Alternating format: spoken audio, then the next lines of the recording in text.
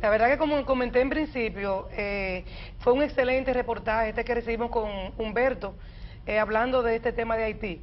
Y vamos a, aprovechar que estamos de nuevo con Candelario, que ustedes saben que ya estuvimos hablando en el principio con, con Candelario, con José Luis, y aprovechando el dar y el recibir, seguimos el mismo tenor, conversando de, del tema, pero de las cárceles.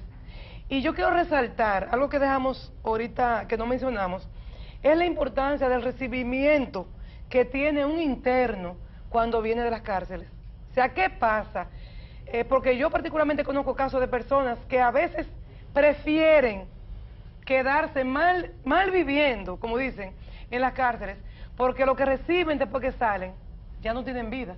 A veces hasta gente que están, quedan en depresión y no tienen el dinero para quizás visitar a un psiquiatra, un psicólogo para ayudarles. Pero ¿qué consejo, José Luis, que le pueden dar a las personas que estamos de este lado de la verja cuando recibimos a personas, familiares, amigos, compañeros, que delinquieron por una u otra razón y ya cumplieron su pena? Mira, Oceania, lo más importante sería que, que el sistema, que la sociedad le, le brinde esas nuevas oportunidades que, que realmente necesitan los internos cuando salen.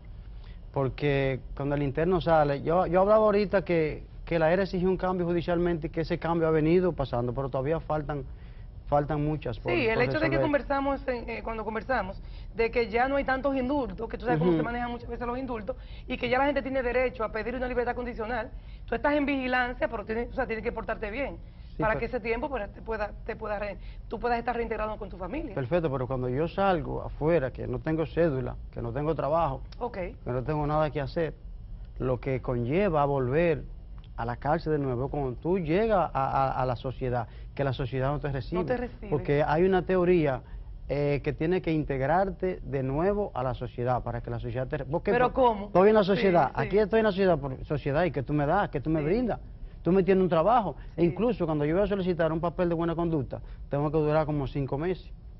Cuando yo voy a solicitar mi cédula no me la dan porque no tengo un papel de buena conducta. Óyeme, un documento que por ley, me imagino yo, que le debe de corresponder a todo ciudadano dominicano. Y si tú cumpliste una, ya una condena, tú tienes todo el derecho. Pero es que tu identidad electoral, tu, tu identidad que te identifica a ti como, como, como dominicano. Qué, se puede hacer? ¿Qué bueno, bueno eso lo que se debe hacer es que cuando las personas salen, cuando los internos salen, debe de haber que eso es lo que nosotros queremos tratar de lograr en este año, que nosotros podamos, eh, pero conjuntamente con, con, el Estado, para que nos ayude a recibir a esa persona y qué sé yo, darle los primeros auxilios y, que, lo, y que los documentos de ellos, esas documentaciones como el papel de buena conducta, eh, la licencia de conducir, eh, qué sé yo, que sea fácil para ellos, que es más que el Estado debiera de, darle eso a ellos. Por un papel de buena conducta tienen que llegar a 350 pesos.